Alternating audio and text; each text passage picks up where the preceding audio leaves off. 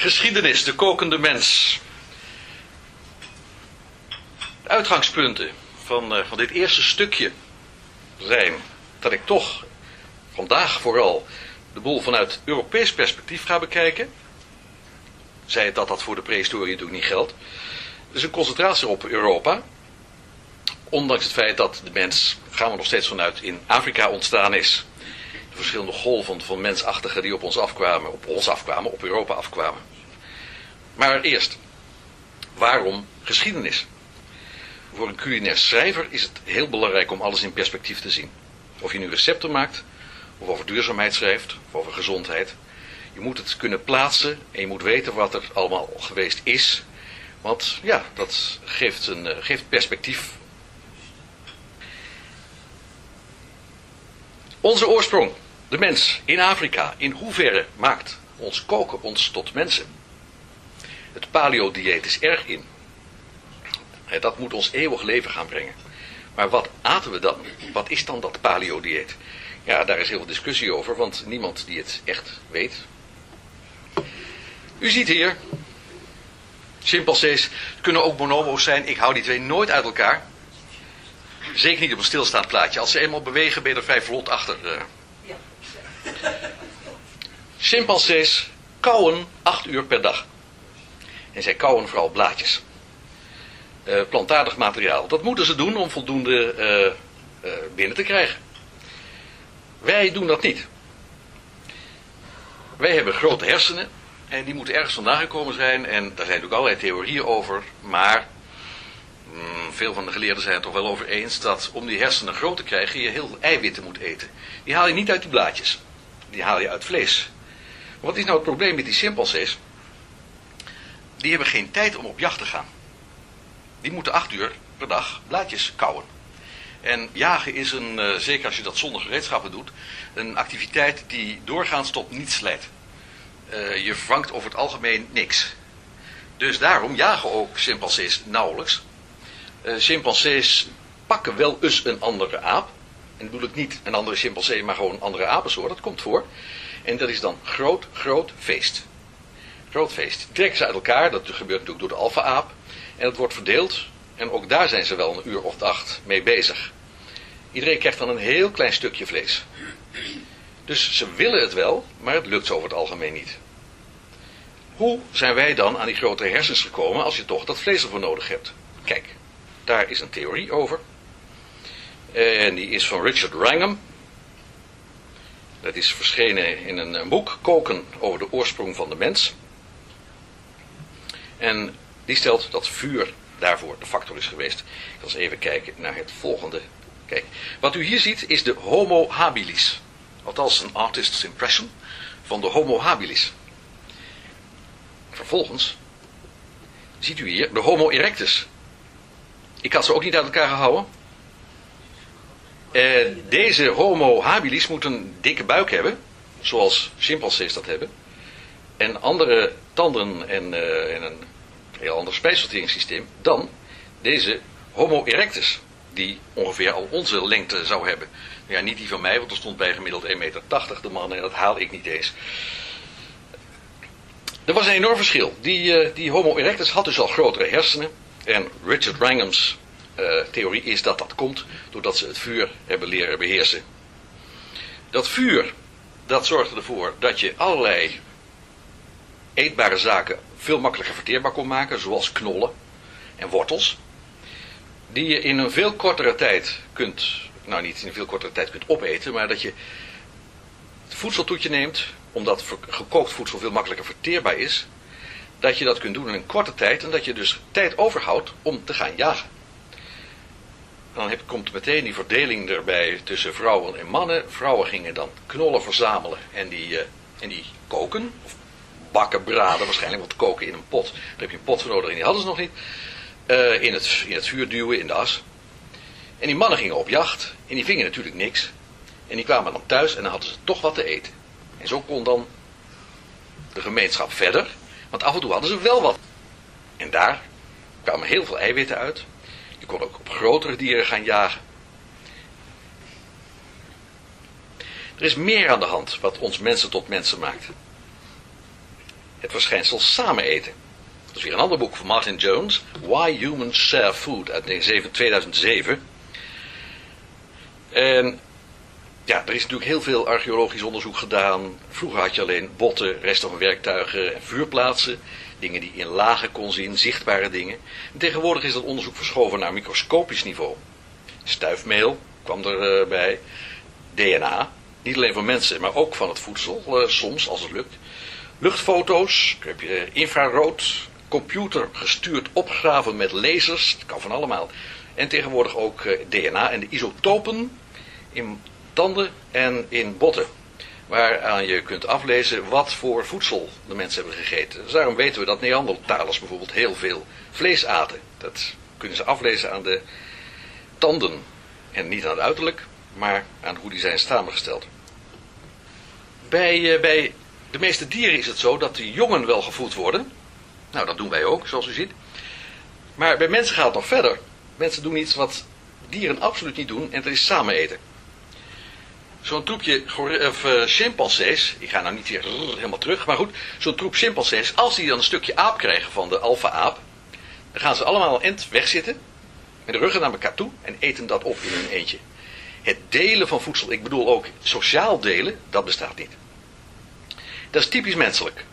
Ja, waar moet dat ontstaan zijn? Dat weten we niet. Maar het is wel een feit dat het zo is. En dit is natuurlijk cruciaal voor uh, ons hele eetpatroon. Het samen eten. Het concept van lekker bestaat wel bij dieren. Dat, dat, zie je bij die apen. Want dat, dat stukje vlees, dat vinden ze fantastisch. En daar merk je ook dat dat ook alweer samenhangt met schaarste. Schaarste is ook voor ons onlosmakelijk verbonden met lekker. Want uh, ja, je kunt het omdraaien. Ik bedoel, als aardappels net zo schaars zouden zijn als truffels, vonden ze waarschijnlijk geweldig. Maar ja, het is niet zo. Maar nu ga ik meteen van de oertijd weg. En nu ga ik naar de Neolithische revolutie, zoals dat heet. Een vreemd woord, want een revolutie verwacht je dat dat toch in een vrij korte tijd plaatsvindt. En dit is een proces dat duizenden jaren duurde. Dus je kan het ook de Neolithische evolutie kunnen noemen. Meestal houden we zo ongeveer aan 10.000 jaar voor Christus, maar dat is, sommigen zeggen het is al 20.000 jaar geleden begonnen. En het is een heel geleidelijk proces, want wat gebeurt er dan? We stappen af van het bestaan als jagers-verzamelaars en we gaan dingen telen en we gaan beesten fokken. Ja. Verzamelen. Het bestaat nog steeds. Deze mevrouw is in Noord-Griekenland aan het verzamelen. En dat stopt ze in een omelet straks. En in Lapland hebben we nog steeds de mengvorm. Dit zijn rendieren. En rendieren worden heel extensief gehouden. Die lopen rond en af en toe, tegenwoordig op een trekker, vroeger op een andere manier, gingen ze erachteraan om die beesten weer bij elkaar te drijven en dan werd er wat van geslacht. Lapland is trouwens een leuk voorbeeld. Dit is de Michelin-redacteur Eric, met wie ik op persreis was twee jaar geleden. En hij verzamelt hier vossenbessen. En dat is ook nog een eh, hele goede praktijk. Dat is natuurlijk ook verzamelen. Er staan nog altijd. En hier wordt, dat dat dus door elkaar loopt, elandvlees uit elkaar gesneden. Door de jagersvereniging in Lapland. En dan hebben we tenslotte, wat ook erbij hoort natuurlijk, het vissen op houting. Van vlonders in de rivier. Waarom is de mens gaan telen en gaan fokken? Niemand die het weet. Want aanvankelijk zijn de voordelen niet erg groot. Je moet heel veel meer uren per dag werken. Jagers-verzamelaars kunnen met vier uur per dag maximaal eh, aan hun eten komen. En de rest van de tijd kunnen ze op hun gat gaan zitten en mooie dingen maken, snijden en kraaltjes en zo. Dat, afhankelijk van, dat zal misschien niet lukken in het hoge noorden bij de Eskimo's, maar uh, in een wat uh, aangenamer klimaat is dat geen enkel probleem. Laat staan in, in tropische zones. Dus waarom zijn we dat gaan doen? Dat weten we niet. Maar er is wel een, ook een voordeel, want je maakt je wat minder afhankelijk van de seizoenen. Je maakt het bestaan minder onzeker. Want als je gaat jagen verzamelen, weet je niks. Je moet maar kijken wat je tegenkomt. En nou wisten de, de oermensen uh, wel degelijk wat ze zouden gaan tegenkomen. En ze volgden ook weer kudde beesten op hun trek. En ze wisten op welke plaatsen uh, bepaalde dingen rijp zouden gaan worden. Zoals het telen van graan, wat natuurlijk een hele belangrijke factor is in die neolithische evolutie is begonnen met het, het, het halftelen van graan. Je ging naar de plaatsen waar het al groeide en je haalde dan die zaden wel op. maar een gedeelte gooide hij weer terug. Dat is zo'n soort extensieve manier van, eh, van uh, graantelen. In ieder geval, je kreeg een overschot. Je kreeg een overschot. Zeker zaden bewaren. Net zo goed als de eekhoorntjes dat doen met eikeltjes. Je houdt wat over. Nadeel van die eekhoorntjes is dat ze niet meer weten waar die eikeltjes gebleven zijn. Gedeelte daarvan. En dat is het behoud van het bos. Dat is de overlevingsstrategie van een eik. Maar uh, je houdt wat over. En dat overschot, dat gaat iets... Ja, dat maakt het bestaan minder onzeker. Want zo kom je wellicht beter de winter door. Als er niks groeit. Maar op een gegeven moment ga je specialisering krijgen van mensen. Kijk, ik maak een flink sprongetje, dat zal nog wel eens vaker gebeuren hier. Dit is een afbeelding van uh, Jericho. Althans, een gravure die voorstelt uh, The Battle of Jericho. Hè? Joshua fought the Battle of Jericho. Bekend. And the walls came tumbling down. Ze moesten zeven keer, ik zie hier een heleboel onbegrijpende, uh, niet in de Bijbel ingevoerde gezichten. Uh, ze moesten zeven keer de Joden in het land Canaan om de stad Jericho trekken, blazend op hun ramshorens. Dat zal, uh, oh, dit zijn geen ramshorens, maar het zijn wel horens. En ze dragen daarbij de ark van het verbond mee. En toen vielen de, de, de muren spontaan neer en konden ze die stad innemen en iedereen een kopje kleiner maken. Want het is het Oude Testament en daar hielden ze van in die tijd. Jericho is een van de oudst, ons bekendste steden ter wereld. Daar was 7.500 jaar voor Christus al bewoning. En er werd gerst geteeld in de omgeving. Verbouwde gerst, want ze kunnen aan de aan graankorrels kunnen verdrogen, zeg maar mummificeren. Die kun je onderzoeken en ze kunnen zien aan de aard van de graankorrel of dat een verbouwde soort is, variëteit, of nog een wilde soort. Want waar de mens eerst mee bezig was om ervoor te zorgen dat die, uh, die halmen van het graan, dus gras, alle graan is gras, dat die zijn korreltjes niet liet vallen. Want dat doet gras. Op een gegeven moment als het rijp is, dan, poem, dan vallen die korreltjes eraf. Dus ze gingen selecteren op de halmen die dat niet hadden gedaan. En die gingen ze uitzaaien. En zo kom je tot veredeling. Dat je graan hebt. Dat terwijl het rijp is, gewoon blijft staan wachten tot jij het komt halen. Dat is natuurlijk een enorm voordeel. Dat was al 7.500 jaar voor Christus. De bevolkingsdichtheid groeit. Je krijgt stedenvorming. Eerst dorpjes, steden. En daarmee ook specialisering. De eerste graansoorten. Kijk, dit is emmer. Dit is spelt. Dit is eenkoorn. Heeft men mij verzekerd. Die, die graansoorten die gingen gedeeld worden in Azië, waar er kwam er nog bij rijst en gierst, maar dat is iets, eh, ja, 7000, 8 jaar, 7000, 8000 voor Christus. Veel later in Amerika mais, aardappelen, pompoen, nierbonen. Later in, in onze streken hebben we het over, over het algemeen over de vruchtbare halve maan. Dat is toen een gebied wat liep van Palestina, Syrië, Oost-Turkije, Noord-Irak. Zo'n bocht die toen natter was dan nu. En waar je heel veel kon doen. Er kwamen er erten bij, paardenbonen, tuinbonen, vlas, kikkererwten, linzen, vijgen, granaatappels. En, naar men nu denkt, 25.000 jaar geleden uh, al in Nieuw-Guinea taro en jams. Later bakbananen en suikerriet. Daarmee zou Nieuw-Guinea de vruchtbare halve maan voor zijn. Maar ja, dit soort gegevens is allemaal erg, erg vaag hoor. Nou, beesten kwamen er ook bij. Ze hebben resten gevonden van honden van 20.000 jaar geleden. Waaraan je kunt zien dat ze al zetmeel eten. Dat betekent, dat doen ze in de natuur namelijk niet, dat die honden al gedomesticeerd waren. Daarna geiten, schapen, varkens, runderen, katten, kippen, cavia's, ezels, waterbuffels. Die komen steeds dichterbij in de tijd. Bijen, paarden, lama's, zijdevlinders, kameel en de dromedaris. En, ook alweer 3000 jaar voor Christus, 3500 jaar, olifanten. En ik sla er natuurlijk nog een heel stel over. Specialisering, zei ik, dat komt er. Er komt onderscheid in kleding en kunst van bepaalde mensen. Wie zijn dat? Dat zijn de priesters en koningen. Aanvankelijk eerst de priesters. Die, de medicijnmannen die krijgen een aparte status al in een stam. Maar dat wordt dan echt een kaste. Die gaan zich afscheiden en die willen dat laten zien. Dat doen medicijnmannen ook al. Maar die priesterkasten die gaat het laten zien dat zij anders zijn. Die gaan zich ook anders voelen. Dat moet uitgedrukt worden. En op allerlei manieren. Daarna ook koningen. Dus leiders van, uh, van het volk, die gaan zich onderscheiden in kleding, in kunst, in huizen en natuurlijk in uh, het aantal en de aard van de vrouwen. Dat is een tendens die tot op de huidige dag bestaat.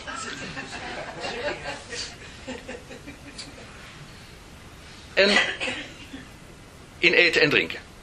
Dat moet getoond worden dat jij anders bent dan anderen. Dit is geen plaatje uit de Neolithische uh, revolutie. Dit is een staatsbanket van Queen Elizabeth. Het probleem is dat heel lastig aan foto's te komen is uit de Neolithische tijd. Er kwam ook hiërarchie tussen volkeren, tussen, nou, je zou aanvankelijk kunnen zeggen stammen. En die gingen, zich, uh, die gingen zich, die wilden zich onderscheiden. En een van de prachtige middelen om dat te doen was natuurlijk ja, hoe je je aankleden of hoe je uh, je baard knipte. Wat ook, wat ook te zien is. Maar eten en drinken hoort daar ook bij. Kiezen en afwijzen. Voorkeuren en vasten. Dat hoort erbij. Zoals we kennen de, de spijsregels, de spijswetten van de Joden en in andere tijden natuurlijk die van de, van de islam. En iedereen had zo zijn, zijn manieren om te laten zien ik doe dit. En dat kreeg dan een stempel natuurlijk van dat moest van God. Maar ja, antropologen vermoeden dat de achterliggende reden is dat je daarmee kon zien dat je bij een bepaalde club hoorde. Er kwamen meer dingen, administratie, ontwikkeling van het schrift. En eten krijgt dus betekenis. Betekenis buiten lekker om.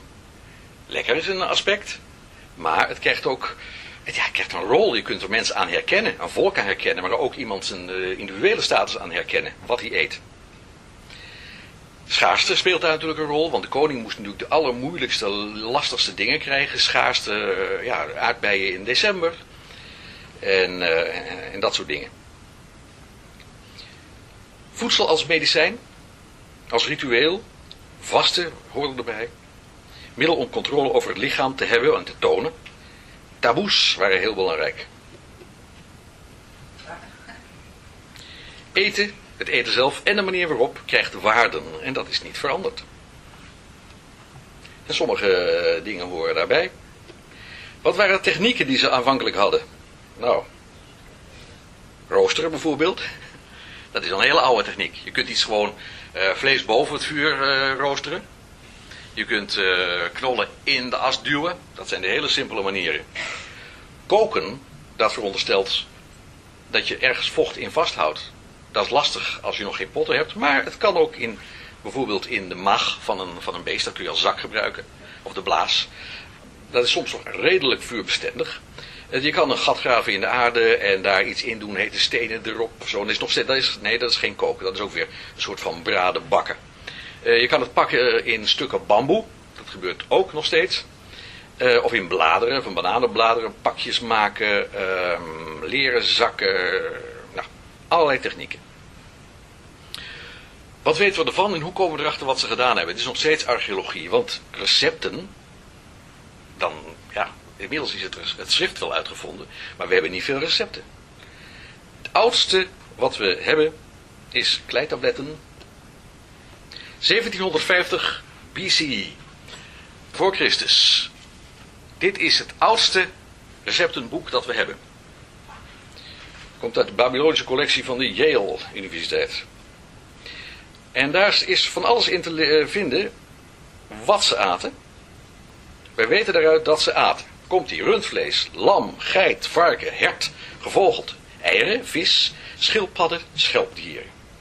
Verschillende graansoorten, die ik al eerder heb laten zien, groenten en fruit, zoals dadels, appels, vijgen, granaatappels, druiven. Wortels, bolgroenten als uien, truffels, en dat zullen dan de tervestruffels zijn geweest, zandtruffels uit het Midden-Oosten, paddenstoelen. Zout gebruikten ze, kruiden ook. Zoeten deed men met honing, met dadels en met ingekookt druivensap. Melk en geklarifieerde boter waren er ook. Uh, net als plantaardige olie hadden ze al van olijven, van lijnzaad en sesam. En dierlijk vet. Maar dat is, ja, ligt meer voor de hand. Dierlijk vet, als je, als een, een, een beest vet eraf snijdt, die smelt dat, dan kun je daarmee werken. Goedkoop brood was er van gerst. En er waren luxe broden van tarwe. Soorten wat die ook ook laten zien. Drank was bier, wijn was zeer duur, staat daar, en kwam uit het noorden. Helemaal de kant op van dat, dat gebergte op, in het noorden van Irak. 25 recepten staan erin. Voor stoofpotten, waarvan 21 met vlees en 4 zonder. En die ingrediënten worden genoemd, net als de volgorde waarin ze moeten worden toegevoegd, maar geen hoeveelheden. En dat is een verschijnsel dat doorduurt, doorduurt tot uh, na de middeleeuwen, om geen hoeveelheden te noemen. Daar ben je mooi klaar mee, want dan kun je het nooit echt zeker weten dat je iets nakookt dat het klopt. Dat is heel vervelend. Want je moet maar eens kijken als je zegt van, jongens we gaan iets maken met eieren, suiker en bloem. Hoeveel recepten je daarmee kunt maken tegenwoordig. Dan weet je dus nog helemaal niks. Wijn in Egypte. Ik stap meteen even over. Egypte, de culturen zijn vanaf eh, ongeveer 3.500 jaar voor Christus. Wijn was heel belangrijk. Maar, kijk hier worden druiven geoogst en zo. Bier was nog belangrijker. Hier wordt bier gemaakt. De Egyptenaren gelden dan ook met de reputatie dat zij de uitvinders zijn van het gerezen brood. Want brood laat je reizen met biergist. Voor die tijd was alle brood dus plat. En gerezen brood, daar moet gist in. Ja, en waar haal je dat vandaan? Nou, dat krijg je bijvoorbeeld uh, uit de vergisting van bier, als dat in de buurt is gebeurd. Dat kan wel helemaal spontaan gaan aanvankelijk. Nou, dan kun je dat gaan bijhouden met een restje van de deeg van de vorige dag. Kun je weer voor de volgende dag gebruiken. Zo werkt dat. Ik ga echt nu met, uh, met flinke sprongetjes doorheen. Want Griekenland, de Griekse oudheid, Griekenland was de grote verspreider in het Middellandse zeegebied van de olijfboom. Vanaf zo'n 650 voor Christus begonnen zij die olijfboom overal te verspreiden op de kusten waar zij kwamen. En ze kwamen nog wel eens ergens. het oude Zuid-Frankrijk is, uh, Marsilia is een uh, Griekse kolonie uit die tijd. Zuid-Italië zijn koloniën van uh, Sicilië.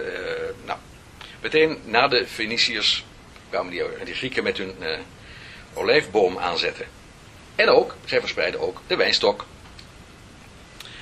En dan mag ik ook even herinneren aan de manier van Grieken om te eten. Ja, te eten. Het symposium, het symposion, dat is natuurlijk bekend. We gebruiken nog steeds die term om, eh, om bij elkaar te komen, zo ongeveer als hier. Maar ja, dan moet je dus iets interactiever zijn, geloof ik. Dan is het een symposium. En bij een Grieks symposium mochten alleen mannen aanwezig zijn. Althans, respectabele vrouwen mochten er niet bij zijn. Maar de hetaren wel. Oftewel de hoeren. Dus het is uh, een, vrolijke aangelegenheid. Wijn werd altijd aangelengd met water. Dat ging nog door tot in de Romeinse tijd. En uh, hoeveel water, dat bepaalde de gastheer. En je had ook van die hele ordinaire partijen dat ze helemaal geen water doorheen deden, kun je je voorstellen. Dat moet echt een feest zijn geweest.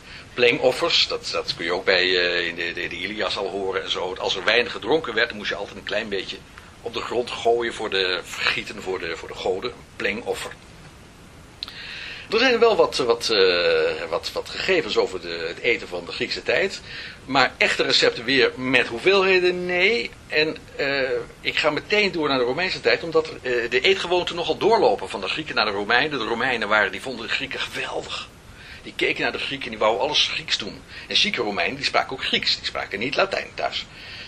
En die, die keken naar de Grieken hoe ze deden. En vandaar dat die culinaire traditie van Griekenland zo na, redelijk naadloos Romeinse Rijk uh, ingaat. Plinius de Oudere beschrijft in de eerste eeuw dat de arme mensen, de arme Grieken in dit geval, pols aten, of wat in Griekenland masa heette. En hij schrijft dan, Grieken weken gerst in water. Dit is gerst, vandaar het plaatje. Drogen het de volgende dag bij het vuur en malen het fijn. Als het klaar is, wrijven ze er drie pond lijnzaad doorheen, nu opeens wel een hoeveelheid, maar als je niet weet met hoeveel gerst je begonnen bent, en dat staat er niet, dan malen ze er drie pond lijnzaad doorheen, waardoor fijn maken, dat is, staat hier niet bij, maar dat weten wij, als je het fijn maakt komt er olie uit, dus dan wordt het smeuig. Een half pond korianderzaad en een achtste pint zout. Alles geroosterd. En dan krijg je een soort, ja, dat, niet, dat is geen brei meer misschien, dat is misschien wel een soort kneedbare pasta. En dat scheen dan de arme mensen te eten. In de Romeinse tijd neemt de handel enorm toe. De Feniciërs deden het al aardig, de Grieken ook, maar Er was nu een soort, uh, de Pax gekomen, Pax Romana. De handel neemt enorm toe. Verspreiding van specerijen waren ze al dol op. Peper, kaneel, gember. Oesters werden uit Engeland aangevoerd, ham uit Gallië, allemaal naar Rome toe. Wijn uit de Jura, bijvoorbeeld. Dan hebben we nog het verschijnsel van het gratis graan. In uh, brood en spelen wordt er wel gezegd, maar dat is een term uit ietsje, ietsje later. Sinds 71 BCE voor Christus wordt er gratis graan uitgedeeld in Rome, alleen de stad Rome. Aanvankelijk voor 40.000 volwassen mannen. Maar dat neemt hand over hand toe, want de stad groeit. Caesar is, nou ja, je weet wanneer die leefde. Hij kon de hoeveelheid terugbrengen, hij hoefde het nog maar aan te voeren voor nog maar 150.000 mannen. Dus het is al, en daar was hij trots op. Dus het moet alweer meer zijn geweest, het gaat 150.000 mannen. 50 jaar later is het 320.000 huishoudens waarin graan wordt uitgedeeld. Je kunt begrijpen wat voor economische krachttoer dat was. De infrastructuur om al dat graan naar de stad Rome te krijgen. Dat kwam van Sicilië, uit Egypte en uit de Maghreb. Maghreb is uh, Marokko, Algerije en Tunesië. En ook deels Libië. Het was immens wat, wat er allemaal moest komen. In de derde eeuw vonden ze dat graan niet genoeg was. Toen gingen ze daar brood van bakken om uit te delen. Gratis. En daarna kwam daarbij reuzel. En daarna wijn. Nou, dat zou je ook een van de redenen kunnen noemen waarop het Romeinse Rijk is uh, ingestort. Want die toer is natuurlijk niet vol te houden. Hoe smaakte het Romeinse eten? Dat weten wij niet helemaal precies, maar we hebben wel enig idee. Dit is een, uh, een exemplaar van het boek van Apicius. Vernoemd, dat is vernoemd, niet gemaakt door, maar vernoemd naar Marcus Gavius Apicius uit de eerste eeuw. Een beroemde smulpaap. Maar we weten vrij zeker dat het boek is uh, gemaakt in de vierde, vijfde eeuw. En dat het een beetje die naam heeft gekregen als een soort eerbetoon. Daaruit weten we dat ze kenmerkende smaken hadden. Ze hielden van zoet, zoet, van zuur en erg van hartig. Kijk, dit is trouwens al een plaatje uit een Etruskische tombe. Waar men al op de Romeinse, nou ja, wat wij de Romeinse manier noemen, dat kun je dus net zo goed de Etruskische manier noemen. De Grieken deden het ook zo, dit is aanliggen. Het kan nog wel duidelijk. In Tarquinia is deze tombe. Ze lagen op één arm en aten met de andere hand. Kenmerkende smaken zuur van azijn, zoet van ingekookte druivenmost en honing en hartig door vissaus, de garum of licamen. Dit is wat er over is van een beroemde licamenfabriek bij Cadiz. Cadiz in het zuiden van Spanje. Er zijn er ook mensen die niet weten wat Thaise vissaus is. Nee, u bent natuurlijk allemaal, u komt hier niet zomaar. Ik heb jullie niet van de straat geplukt. Thaise vissaus is ongeveer hetzelfde als wat de Romeinen gebruikten. Je neemt uh, visjes, over het algemeen vette visjes, dus ansjovis uh, of sardientjes. Die stop je in een pot met zout. Die zet je in de zon. En dan wacht je een tijd. Drie maanden. Wat er voor ellende onderuit komt lopen, dat is de vissaus. Tegenwoordig, je kunt ook de visjes zelf opeten na verloop van tijd. En dat noemen wij dan ansjovis uit, uit bijvoorbeeld. Maar in die tijd liet je het rijpen tot die vis helemaal uit elkaar was gevallen. En dan kwam het vocht eruit lopen. En dat was de licamen. Hè. Die is, wat, wat het is, het is uh, glutamaat. Het is, het is gewoon één glutamaten brew.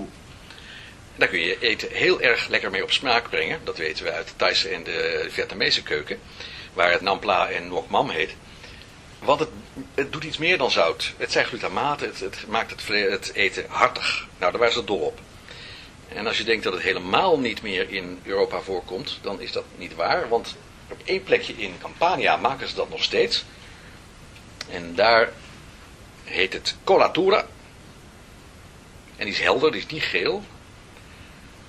Dat, uh, dus je kunt het nog krijgen uit Italië. Het is weinig bekend. Er was nog een beroemde smaakmaker bij de, bij de Romeinen en dat was Silvium. En dat kwam uit Cyrene in Noord-Afrika. En dat was zo populair dat het op een gegeven moment in de eerste eeuw op was. Op. Op, op, op, op. Het was niet meer te krijgen en wij weten ook niet wat het was. Het is nooit uitgevonden wat het was. Best mogelijk dat natuurlijk van het echt op in de plantenwereld, dat kan bijna niet. Er groeit vast wel ergens in Noord-Afrika het plantje dat zilvervium is, maar wat wij dan niet. Dat werd toen vervangen door asafoetida. Nou, sommige mensen ook bekend. Ook een, eh, een, smaakgever wat uh, gebruikt wordt in India om knoflook te vervangen. Dat is ook nogal een... Ja, het zijn, zijn wel ellebogen uh, aroma's, zou ik maar zeggen. Sterke smaken dus. Waarom sterke smaken? Hm. Er is een theorie die zegt dat dat komt omdat de Romeinen zichzelf aan het vergiftigen waren met lood.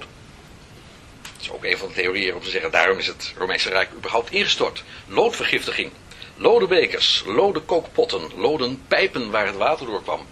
En wat levert dat op, behalve dat je er eh, gaga van wordt en dat je daardoor je rijk verliest? Tas je smaak aan.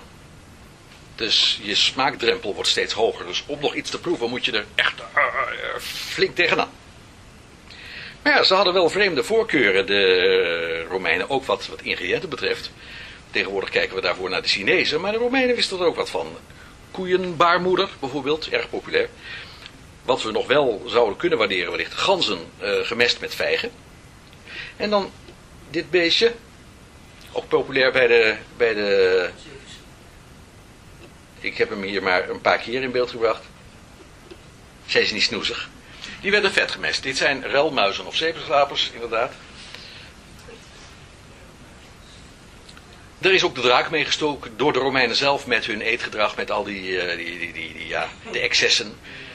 Dit is de scène uit, uh, inderdaad, de, de eetscène van, uh, uit Satyricon van Petronius.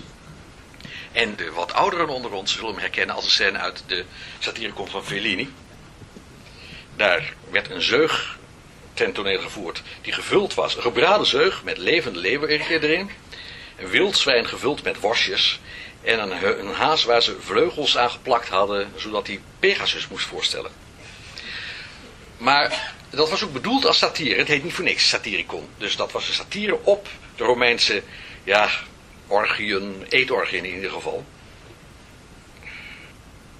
Ik ga nu eventjes onderbreken, 10 minuutjes, en dan, uh, dan gaan we weer verder met, uh, met, dan duiken we de middeleeuwen in met z'n allen. Zien we elkaar zo weer. Geschiedenis, de kokende mens.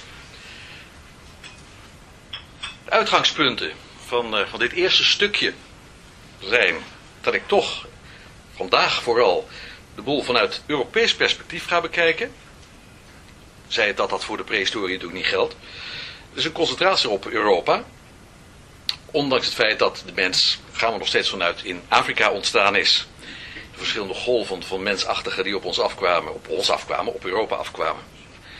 Maar eerst, waarom geschiedenis? Voor een culinair schrijver is het heel belangrijk om alles in perspectief te zien. Of je nu recepten maakt, of over duurzaamheid schrijft, of over gezondheid. Je moet het kunnen plaatsen en je moet weten wat er allemaal geweest is. Want ja, dat geeft, een, uh, geeft perspectief. Onze oorsprong, de mens in Afrika, in hoeverre maakt ons koken ons tot mensen? Het paleo-dieet is erg in. Dat moet ons eeuwig leven gaan brengen. Maar wat aten we dan? Wat is dan dat paleo-dieet? Ja, daar is heel veel discussie over, want niemand die het echt weet, u ziet hier, chimpansees kunnen ook bonobo's zijn. Ik hou die twee nooit uit elkaar.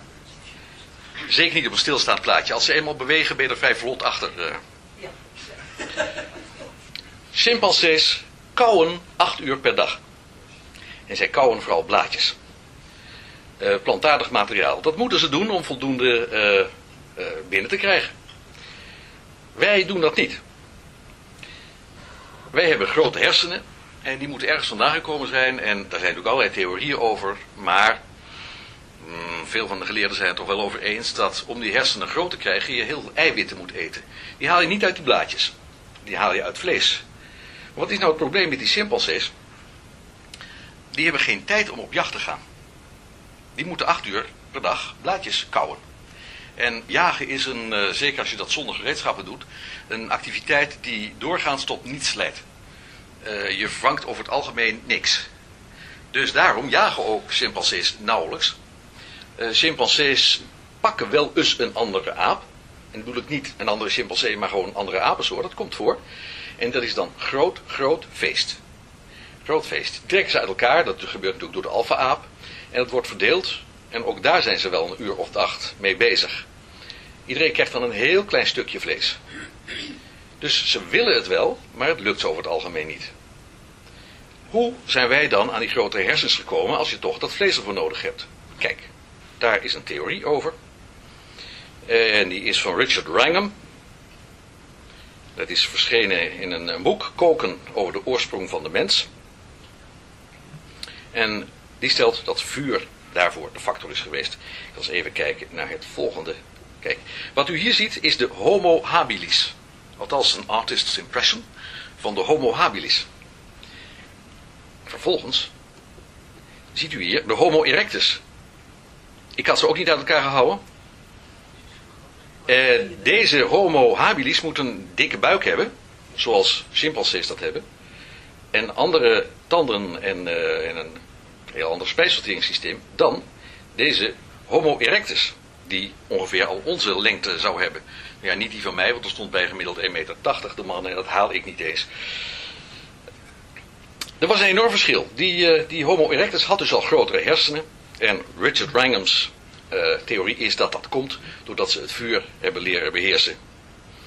Dat vuur, dat zorgde ervoor dat je allerlei eetbare zaken veel makkelijker verteerbaar kon maken, zoals knollen en wortels. Die je in een veel kortere tijd kunt, nou niet in veel kortere tijd kunt opeten, maar dat je het voedsel tot je neemt, omdat gekookt voedsel veel makkelijker verteerbaar is, dat je dat kunt doen in een korte tijd en dat je dus tijd overhoudt om te gaan jagen.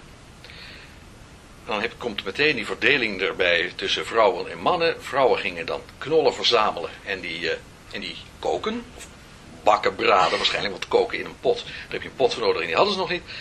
Uh, in, het, in het vuur duwen, in de as. En die mannen gingen op jacht en die vingen natuurlijk niks. En die kwamen dan thuis en dan hadden ze toch wat te eten. En zo kon dan de gemeenschap verder, want af en toe hadden ze wel wat. En daar kwamen heel veel eiwitten uit. Je kon ook op grotere dieren gaan jagen. Er is meer aan de hand wat ons mensen tot mensen maakt. Het verschijnsel samen eten. Dat is weer een ander boek van Martin Jones. Why Humans Share Food uit 2007.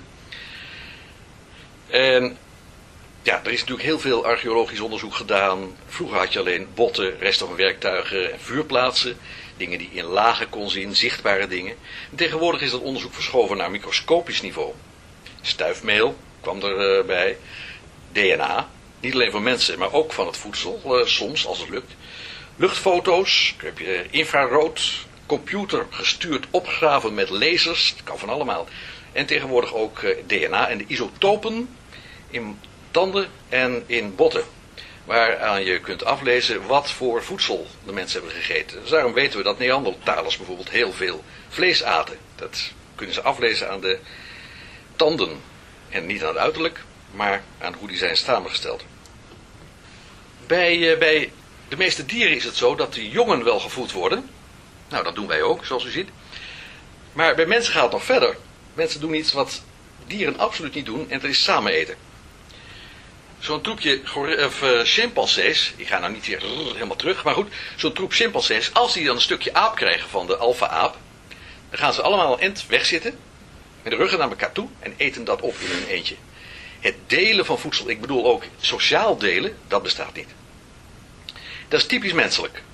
Ja, waar moet dat ontstaan zijn? Dat weten we niet. Maar het is wel een feit dat het zo is. En dit is natuurlijk cruciaal voor uh, ons hele eetpatroon. Het samen eten. Het concept van lekker bestaat wel bij dieren. Dat, dat, dat zie je bij die apen. Want dat, dat stukje vlees, dat vinden ze fantastisch. En daar merk je ook dat dat ook alweer samenhangt met schaarste. Schaarste is ook voor ons onlosmakelijk verbonden met lekker. Want uh, ja, je kunt het omdraaien. Ik bedoel, als aardappels net zo schaars zouden zijn als truffels, vonden ze waarschijnlijk geweldig. Maar ja, het is niet zo. Maar nu ga ik meteen van de oertijd weg en nu ga ik naar de Neolithische revolutie, zoals dat heet. Een vreemd woord, want een revolutie verwacht je dat dat toch in een vrij korte tijd plaatsvindt. En dit is een proces dat duizenden jaren duurde. Dus je kan het ook de neolithische evolutie kunnen noemen. Meestal houden we zo ongeveer aan 10.000 jaar voor Christus, maar dat is, sommigen zeggen het is al 20.000 jaar geleden begonnen. En het is een heel geleidelijk proces, want wat gebeurt er dan? We stappen af van het bestaan als jagers-verzamelaars en we gaan dingen telen en we gaan beesten fokken. Ja. Verzamelen. Het bestaat nog steeds. Deze mevrouw is in Noord-Griekenland aan het verzamelen. En dat stopt ze in een omelet straks. En in Lapland hebben we nog steeds de mengvorm. Dit zijn rendieren. En rendieren worden heel extensief gehouden. Die lopen rond en af en toe, tegenwoordig op een trekker, vroeger op een andere manier, gingen ze erachteraan om die beesten weer bij elkaar te drijven en dan werd er wat van geslacht. Lapland is trouwens een leuk voorbeeld. Dit is de Michelin-redacteur Eric, met wie ik op persreis was twee jaar geleden. En hij verzamelt hier vossenbessen. En dat is ook nog een eh, hele goede praktijk. Dat is natuurlijk ook verzamelen. Er staat nog altijd. En hier wordt, dat dat dus door elkaar loopt, elandvlees uit elkaar gesneden. Door de jagersvereniging in Lapland. En dan hebben we tenslotte, wat ook erbij hoort natuurlijk, het vissen op houting. Van vlonders in de rivier. Waarom is de mens gaan telen en gaan fokken? Niemand die het weet.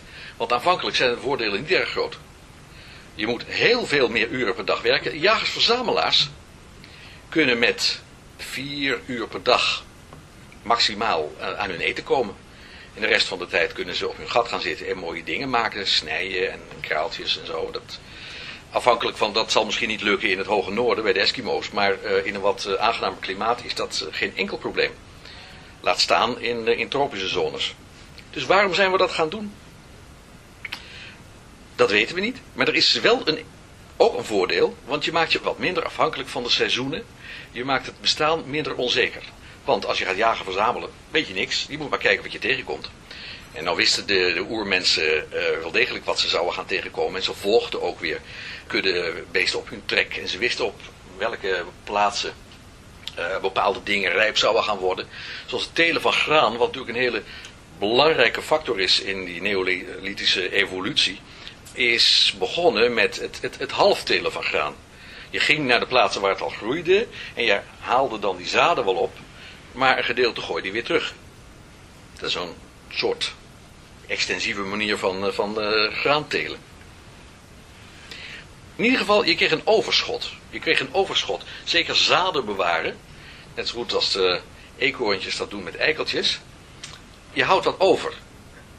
Nadeel van die eekhoorntjes is dat ze niet meer weten waar die eikeltjes gebleven zijn. Een gedeelte daarvan. En dat is het behoud van het bos. Dat is de overlevingsstrategie van een eik. Maar uh, je houdt wat over.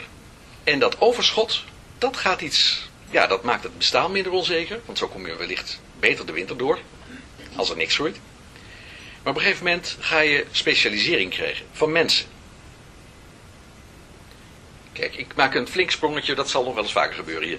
Dit is een afbeelding van uh, Jericho. Althans, een gravure die voorstelt uh, The Battle of Jericho. Hè?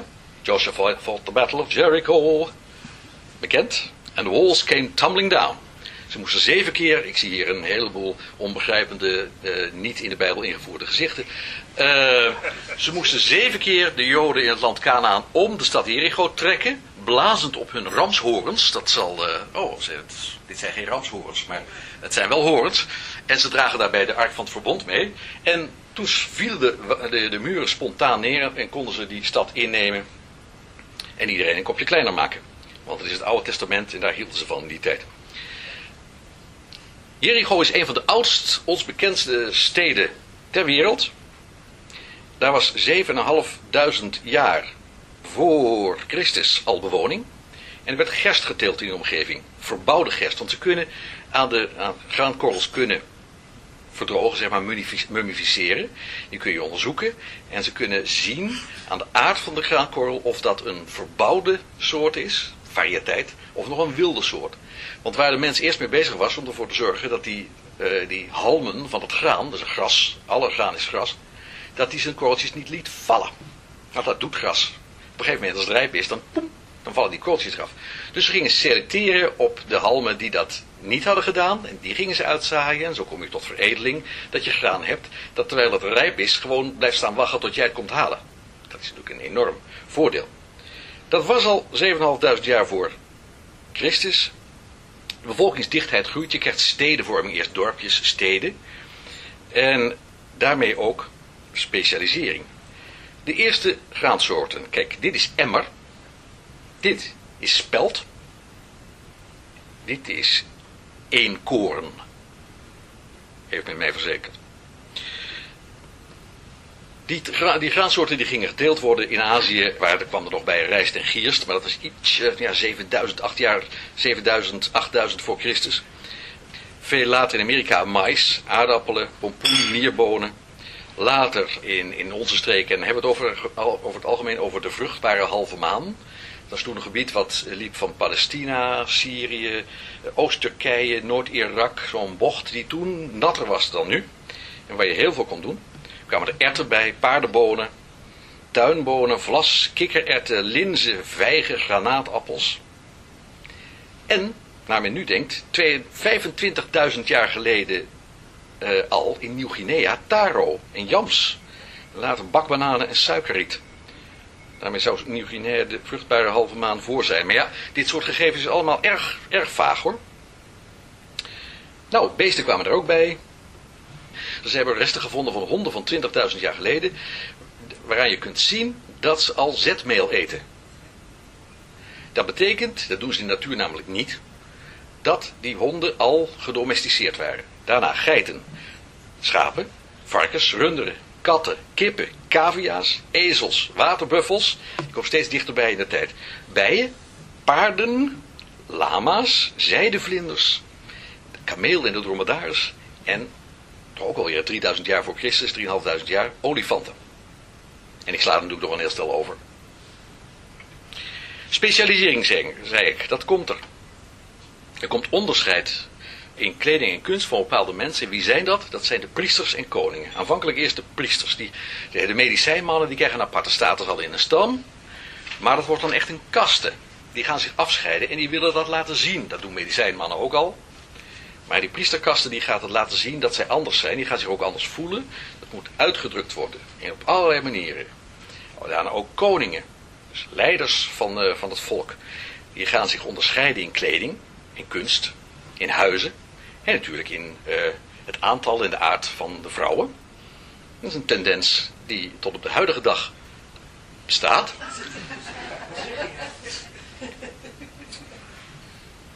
En in eten en drinken. Dat moet getoond worden dat jij anders bent dan anderen. Dit is geen plaatje uit de Neolithische uh, revolutie. Dit is een staatsbanket van Queen Elizabeth probleem is dat heel lastig aan foto's te komen is uit de Neolithische tijd. Er kwam ook hiërarchie tussen volkeren, tussen, nou, je zou aanvankelijk kunnen zeggen stammen. En die gingen, zich, eh, die gingen zich, die wilden zich onderscheiden. En een van de prachtige middelen om dat te doen was natuurlijk ja, hoe je je aankleden of hoe je je baard knipte. Wat ook, wat ook te zien is. Maar eten en drinken hoort daar ook bij. Kiezen en afwijzen voorkeuren en vasten. Dat hoort erbij. Zoals we kennen de, de spijsregels, eh, de spijswetten van de Joden en eh, in andere tijden natuurlijk die van de, van de islam. En iedereen had zo zijn, zijn manieren om te laten zien, ik doe dit. En dat kreeg dan een stempel natuurlijk van dat moest van God. Maar ja, antropologen vermoeden dat de achterliggende reden is dat je daarmee kon zien dat je bij een bepaalde club hoorde. Er kwamen meer dingen, administratie, ontwikkeling van het schrift. En eten krijgt dus betekenis. Betekenis buiten lekker om. Lekker is een aspect, maar het krijgt ook ja, krijgt een rol. Je kunt er mensen aan herkennen, een volk aan herkennen, maar ook iemand zijn uh, individuele status aan herkennen, wat hij eet. Schaarste speelt daar natuurlijk een rol, want de koning moest natuurlijk de allermoeilijkste, lastigste dingen krijgen. Schaarste, uh, ja, aardbeien in december, en, uh, en dat soort dingen. Voedsel als medicijn, als ritueel, vasten horen erbij. Middel om controle over het lichaam te hebben en te tonen. Taboes waren heel belangrijk. eten, het eten zelf en de manier waarop krijgt waarden. En dat is niet veranderd. En sommige eh, dingen horen daarbij. Wat waren de technieken die ze aanvankelijk hadden? Nou, roosteren bijvoorbeeld. Dat is een hele oude techniek. Je kunt iets gewoon uh, vlees boven het vuur uh, roosteren. Je kunt uh, knollen in de as duwen. Dat zijn de hele simpele manieren. Koken, dat veronderstelt dat je ergens vocht in vasthoudt. Dat is lastig als je nog geen potten hebt. Maar het kan ook in, bijvoorbeeld in de maag van een, van een beest. Dat kun je als zak gebruiken. Of de blaas. Dat is soms nog redelijk vuurbestendig. Je kan een gat graven in de aarde en daar iets in doen, hete stenen erop. Zo. Is nog steeds, dat is, nee, dat is geen koken, dat is ook weer een soort van braden bakken. Uh, je kan het pakken in stukken bamboe, dat gebeurt ook nog steeds. Of in bladeren, van bananenbladeren, pakjes maken, uh, leren zakken, nou, allerlei technieken. Wat weten we ervan en hoe komen we erachter wat ze gedaan hebben? Het is nog steeds archeologie, want recepten, inmiddels is het, het schrift wel uitgevonden, maar we hebben niet veel recepten. Het oudste wat we hebben is kleitabletten. 1750 BC, voor Christus. Dit is het oudste receptenboek dat we hebben. Komt uit de Babylonische collectie van de Yale Universiteit. En daar is van alles in te vinden wat ze aten. Wij weten daaruit dat ze aten komt die rundvlees, lam, geit, varken, hert, gevogeld, eieren, vis, schildpadden, schelpdieren. Verschillende graansoorten, die ik al eerder heb laten zien, groenten en fruit, zoals dadels, appels, vijgen, granaatappels, druiven. Wortels, bolgroenten als uien, truffels, en dat zullen dan de tervestruffels zijn geweest, zandtruffels uit het Midden-Oosten, paddenstoelen. Zout gebruikten ze, kruiden ook, zoeten deed men met honing, met dadels en met ingekookt druivensap. Melk en geklarifieerde boter waren er ook. Uh, net als plantaardige olie hadden ze al van olijven, van lijnzaad en sesam. En dierlijk vet. Maar dat is, ja, ligt meer voor de hand.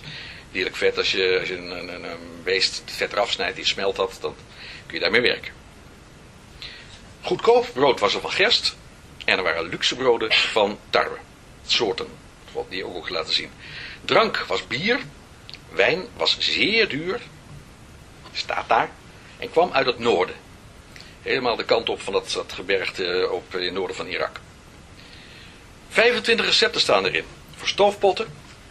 Waarvan 21 met vlees en 4 zonder. En die ingrediënten worden genoemd. Net als de volgorde waarin ze moeten worden toegevoegd. Maar geen hoeveelheden. En dat is een verschijnsel dat doorduurt, doorduurt tot uh, na de middeleeuwen, om geen hoeveelheden te noemen. Daar ben je mooi klaar mee, want dan kun je het nooit echt zeker weten dat je iets nakookt dat het klopt. Dat is heel vervelend. Want je moet maar eens kijken als je zegt van, jongens we gaan iets maken met eieren, suiker en bloem. Hoeveel recepten je daarmee kunt maken tegenwoordig. Dan weet je dus nog helemaal niks. Wijn in Egypte. Ik stap meteen even over. Egypte, de culturen zijn vanaf eh, ongeveer 3.500 jaar voor Christus. Wijn was heel belangrijk. Maar, kijk hier worden druiven geoogst en zo. Bier was nog belangrijker. Hier wordt bier gemaakt. De Egyptenaren gelden dan ook met de reputatie dat zij de uitvinders zijn van het gerezen brood. Want brood laat je reizen met biergist. Voor die tijd was alle brood dus plat. En gerezen brood, daar moet gist in. Ja, en waar haal je dat vandaan? Nou, dat krijg je bijvoorbeeld uh, uit de vergisting van bier, als dat in de buurt is gebeurd. Dat kan wel helemaal spontaan gaan aanvankelijk. Nou, dan kun je dat gaan bijhouden met een restje van de deeg van de vorige dag. Kun je weer voor de volgende dag gebruiken. Zo werkt dat. Ik ga echt nu met, uh, met flinke sprongetjes doorheen. Want Griekenland, de Griekse oudheid, Griekenland was de grote verspreider in het Middellandse zeegebied van de olijfboom. Vanaf zo'n 650 voor Christus begonnen zij die olijfboom overal te verspreiden op de kusten waar zij kwamen. En ze kwamen nog wel eens ergens. het oude Zuid-Frankrijk is, uh, Marsilia is een, uh, een, Griekse kolonie uit die tijd. Zuid-Italië zijn koloniën van uh, Sicilië. nou, meteen na de Feniciërs kwamen die Grieken met hun olijfboom aanzetten. En ook, zij verspreiden ook de wijnstok.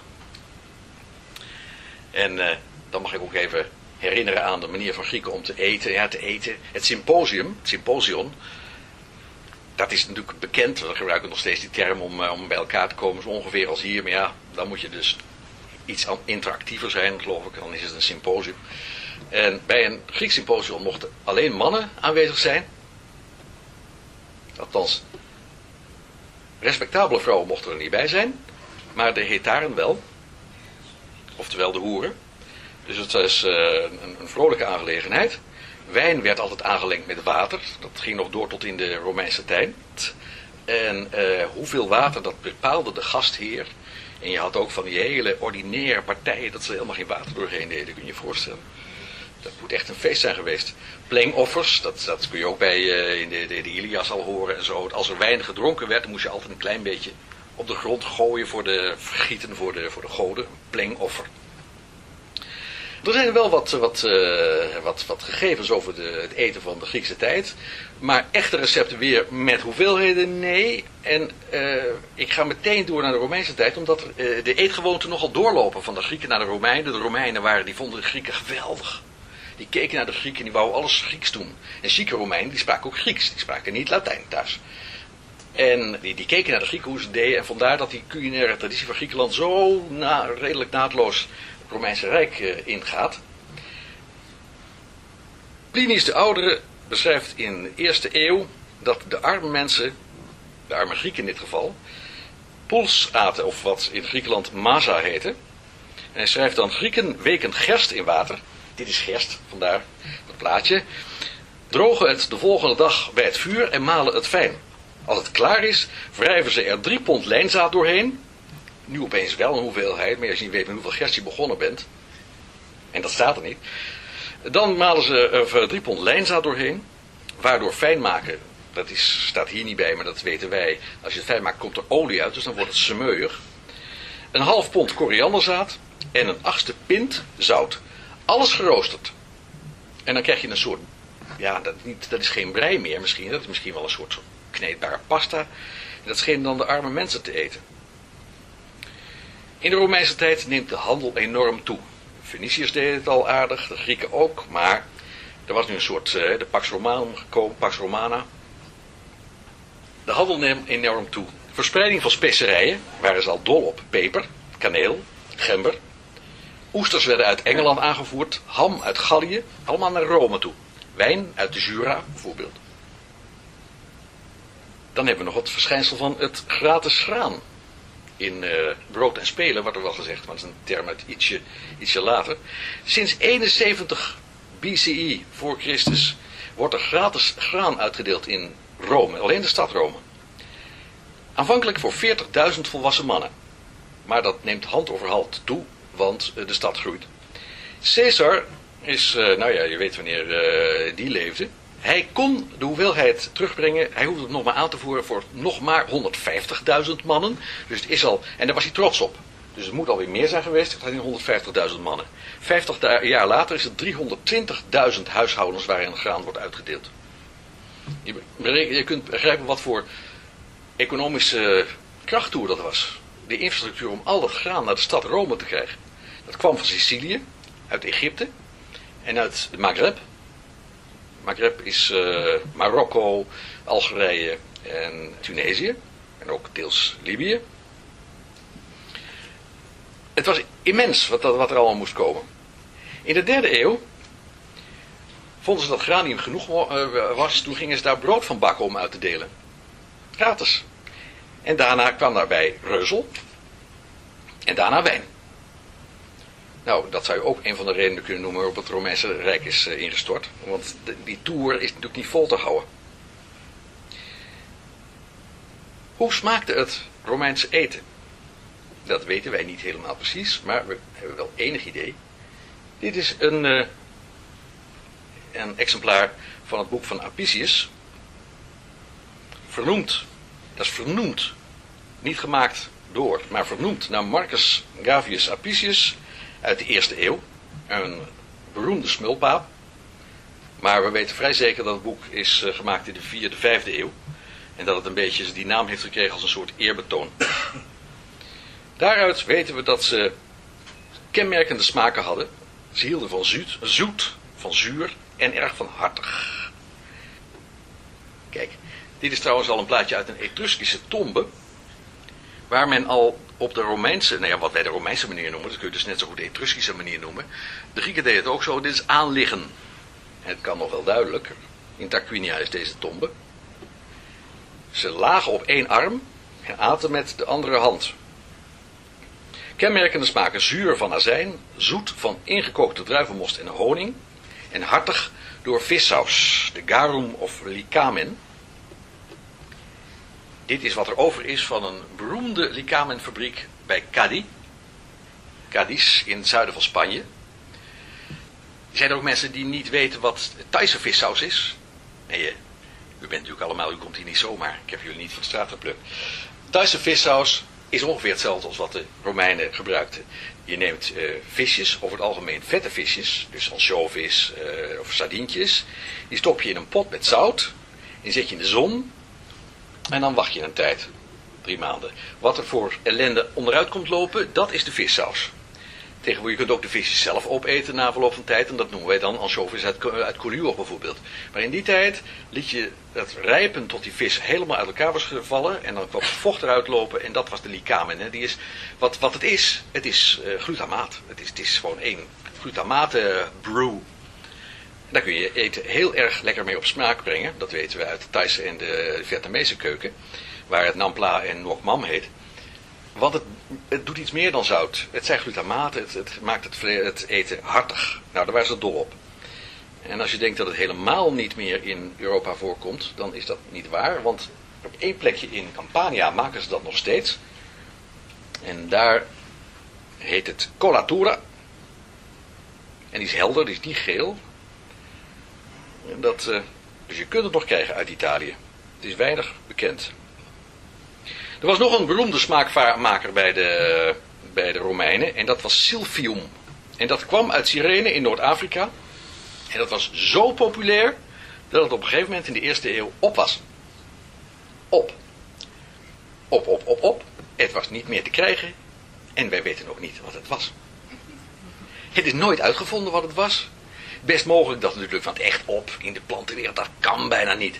Er groeit vast wel ergens in Noord-Afrika het plantje dat silvium is, maar wat wij dan niet.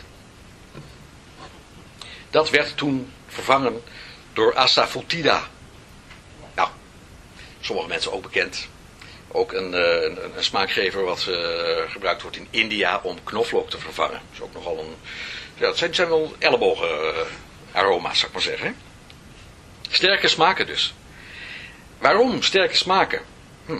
Er is een theorie die zegt dat dat komt omdat de Romeinen zichzelf aan het vergiftigen waren met lood. Dat is ook een van de theorieën om te zeggen, daarom is het Romeinse Rijk überhaupt ingestort. Loodvergiftiging. Loden bekers, loden kookpotten, loden pijpen waar het water door kwam.